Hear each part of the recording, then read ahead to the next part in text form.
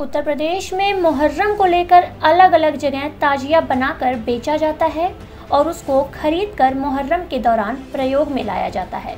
जी हाँ लेकिन कई जगह से धर्मगुरु मौलाना सैफ अब्बास को शिकायतें मिली हैं कि प्रशासन को उनकी ताजिया तैयार करने नहीं दिया जा रहा है और ना ही उनको खरीदारी करने दिया जा रहा है। जी हाँ लखनऊ में मुस्लिम धर्मगुरु प्रशासन द्वारा उत्तर प्रदेश में ताजिया को हटाने पर आपत्ति जताई है और कहा है कि मुहर्रम में लोग ताजिया खरीदते हैं और उन्हें बेचते हैं।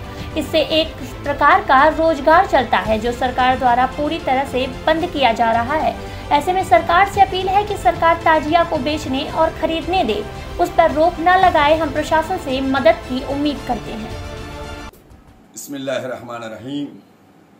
नाजरीन, हम आपसे भी मुखातब हैं, लेकिन असल में ये मीडिया के लिए क्लिप है और हुकूमत से अपील।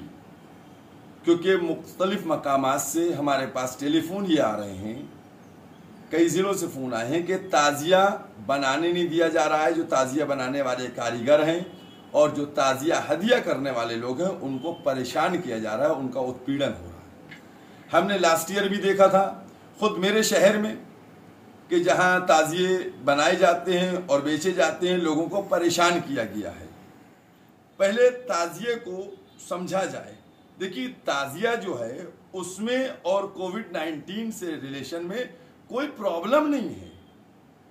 जैसे दुनिया की सारी चीज़ें लोग खरीद रहे हैं और लोग बेच रहे हैं, वैसे ही ताज़िया भी लोग रखेंगे और हदिया करेंगे। क्योंकि ताज़िए को ये, उनका कॉन्सेप्ट के ताज़िया पचास फुट का होता है, ये गलत है। ताज़िया एक फुट का भी होता है, दो फुट का भी होता है, पाँच फुट का भी होता है, सात फुट का भी होता है और पचास फुट का भी होता है। लिहाजा जब ताजिए के जुलूस पे पाबंदी है तो अब अगर कोई ताजिया खरीदता है और ताजिया बनाता है तो वही वाला खरीदेगा ना कि जो वो उठा सके जिसकी गवर्नमेंट ने परमिशन दी है। तो उस ताजिए को बनाने से क्यों रोका जा रहा है? उस ताजिए को हदिया करने से क्यों रोका जा रहा है? लिहाजा मेरी सरकार से अपील है। हमारी योगी गवर्नमेंट से अपील यही है, निवेदन है कि रोज़गार न छीने इन गरीबों का।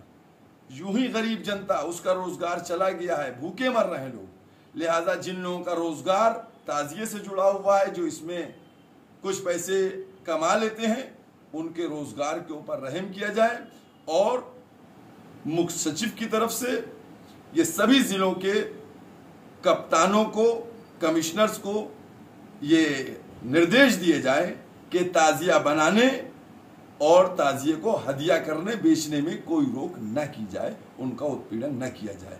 और इसी के साथ मैं अपने उन ओलमा से, अपनी उन तंजीमों से, उन रसूखदार लोगों से भी ये गुजारिश करूँगा कि वो लोग भी हुकूमत से इस मौजू पर भी बात करके और इस काम को जल्द से जल्द हल करवाएँ ताकि जो गरीब ताजिए बना रहे हैं और जिन्होंने ताजिए बनाए हैं, उनको इस तरीके से काम मुकम्मल हो सके।